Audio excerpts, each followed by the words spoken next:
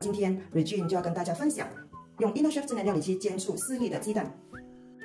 今天我用的是 A 蛋，而且是室温的，就把酱青、胡椒粉跟香菇粉、调味料等直接放入鸡蛋这边，然后我们打散，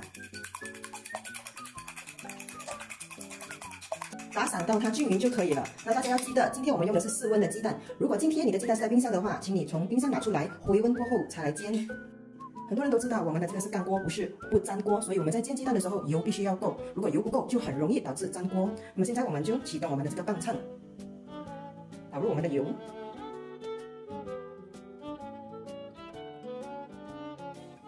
那么预热好过后呢，我们打开我们的煮锅盖，趁我们的煮锅还是很热的时候呢，将干叶倒入煮锅内。记得我们的鸡蛋千万不要直接倒入在刀的中心，必须要倒入在这个油这边。看到吗？就不要倒在这边哦。要很小心的捣鼓，不然蛋液就会在刀上面的。可以看得出，它已经在熟的过程中了。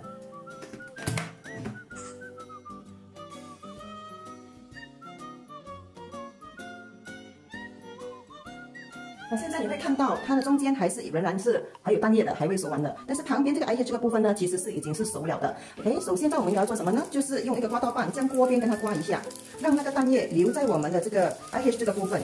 你看到吗？让那个蛋液全部留在这些旁边。因为我们的 I H 这个部分它还是很热的，所以呢，你就一直刮，就像我们传统这样子去反面那个蛋液。给大家看看一下，一直刮刮到它的蛋液开始有干的这个迹象了。那么有一些人呢就比较喜欢这样子就直接吃了，那有一些人觉得说我还要再给它再炒一下也是可以的，就看个人的喜好。所以我们就是这样跟它刮它的锅边，看到吗？其实是已经是好的。这个时候其实你可以拿出来，或者你还要再继续多一下子都可以。